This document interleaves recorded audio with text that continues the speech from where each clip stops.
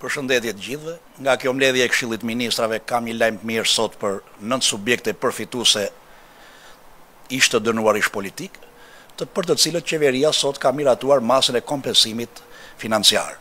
Natyrisht ky vendim është propozim i Ministrisë Drejtësisë, është vendimi i tridhjetë që merr qeveria për dëmshpërblimin e ish të dënuarve politik të regjimit komunist edhe kjo është pjesë e vizionit qeverisë tonë për të garantuar deri në fund të drejtat e ish të dënuarve politik të regjimit komunist. Nga nëntë subjektet përfituese që përfitojnë sot, shtatë subjekte janë ish të dënuar politik të regjimit komunist me burgime të gjata ose izolime në hetusi ose në masë të për trajtim në masë mjekësore, ndërsa dy subjekte përfituese janë me dënime kapitale ose të ekzekutuar pa gjyq. Vendimi i Qeverisë sot ka përcaktuar masën e kompensimit financiar dhe subjektet përfituese sipas masës së vlerësimit që tashmë ne e miratuam qeveri.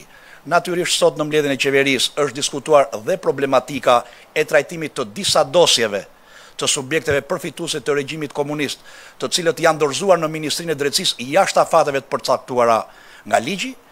Kemi rënë dakord që në bashkëpunim me Ministrinë e Financave të përllogarisim sa është kostoja e e buxhetit të shtetit lidhur me këtë kategori dosjesh dhe në momentin dhe kohën e duhur ne ndoshta do të ndërmarrim edhe iniciativën ligjore për të ndryshuar ligjin për të shtyrë afatin e depozitimit të këtyre dokumentave nga edhe këtyre dosjeve nga ana e subjekteve përfituese ish të dënuar politikë të regjimit komunist.